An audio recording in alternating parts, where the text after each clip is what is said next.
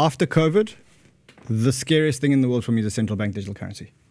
Because I don't think people understand the implications of what a central bank digital currency does. And I think for, for those people who are hearing about this for, for the first time or not that au fait with what it actually means, right now, if you've got dollars in your hand, you can spend those dollars how you wish because there's always going to be a buyer or a, a taker to take those dollars out of your hand. But when there's a central bank digital currency, the government can literally, because it's all digital, they can control where you spend and what you spend, and they can cut you off at one point if they own the central the central hub of the If ledger. it's on one ledger. If it's on one be ledger, If it's on one ledger.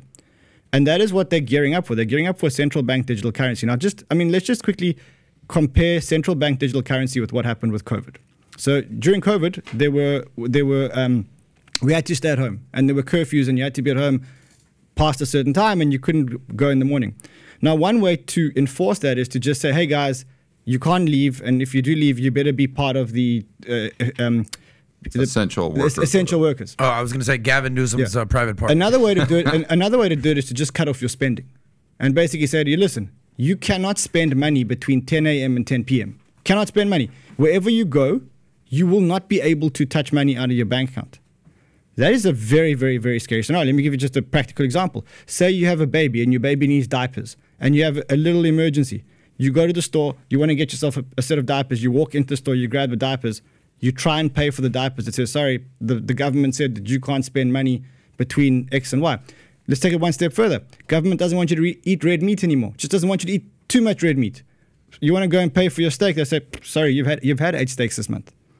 That is the power that we give governments if we get a central bank digital also, currency. I would also add issuing credit based on narrative instead of merit. So, as an example, you know, if you take everything onto the one balance sheet, the Fed can't go bust. So they can issue loans. They don't need to be paid back. They could care less. So you don't need to give them a credit score. So what happens is Adam goes down to the local bank. You know, you got to talk to Jerome Powell to get your next mortgage, and they say, hey, you know what? We heard what you said the other day. Yeah. Pat, yeah, that ain't going to happen. Your social score is a negative 10 or mm. whatever.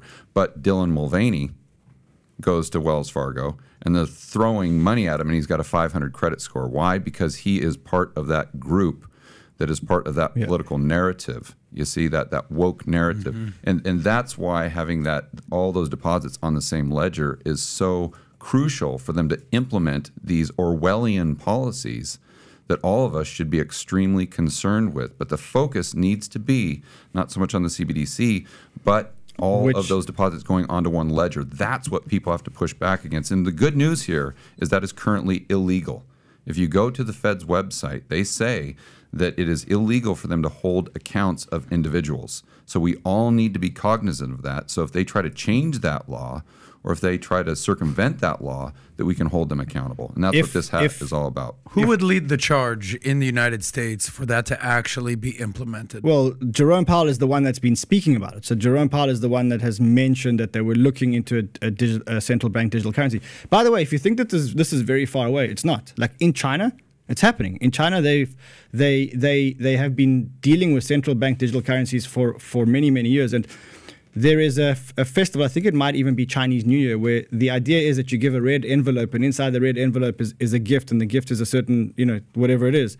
And they actually did a campaign in China where they had a red envelope campaign, but with a CBDC, so that people actually adopt a CBDC to see how much money that how, many, how much money they've got, and that's an adoption tool. Once people get used to using the central bank digital currency, mm. you've given the government the ultimate power. And have they already implemented and- a social credit score in China? Is that actually They been have implemented? social credit scores in China, but remember, it's not the the central bank digital currency is not yet mass adopted.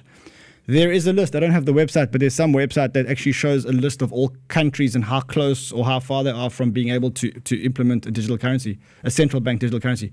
What's And at the is- top of the list? Off the, I think it's top of your China, and I think it, there's like African countries there, like I think Nigeria, and I, I, I'll, I can check the tweet in, in a second. Yeah, but- and but for me, the, the the scariest thing is if we get a central bank digital currency, you have got to make sure that as much of your money on the day that that central bank digital currency is a reality, you got to get as much of your money into a neutral system as possible. But yeah, unfortunately, I think you're going to have a problem there as well that people really need to be cognizant of. First of all, you know, they you never let a good crisis go to waste.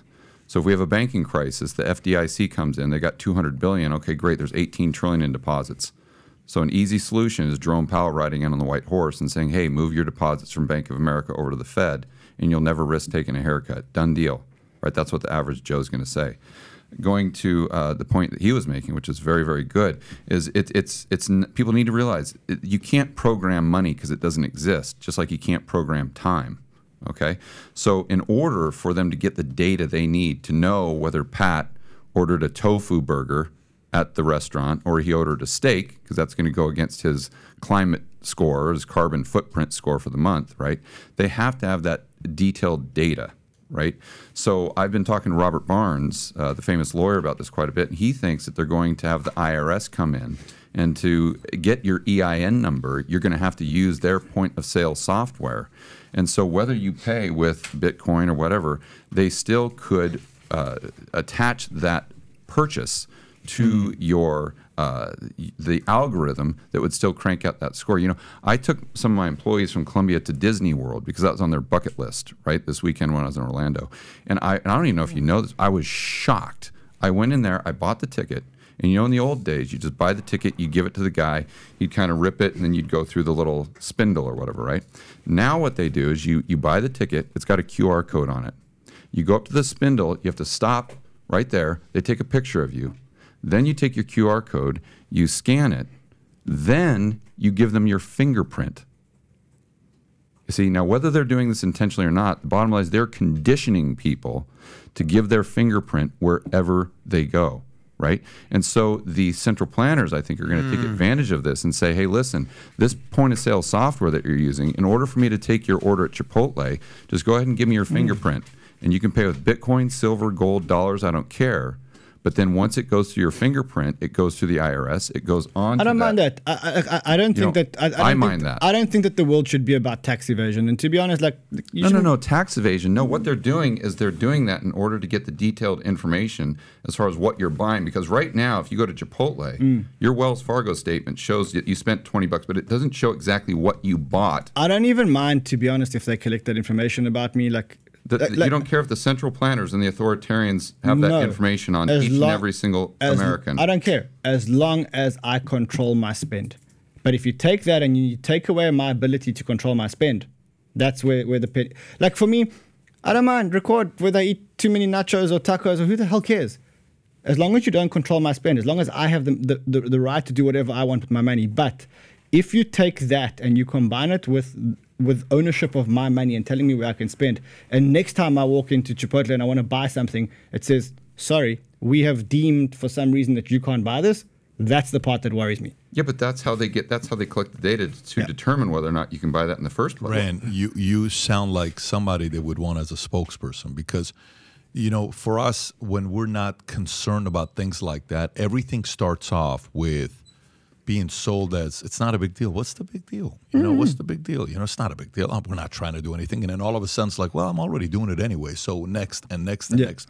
Some people would even say, George, just start it with your phone. You pick up your phone and sees your eyes, iPhone, oh, and boom, absolutely. You know, and then you're you're in it. And so, uh, look, at the end of the day, CBDC is something that a lot of people are concerned with, and it, it doesn't matter whether they're crypto or not crypto. They're concerned about it.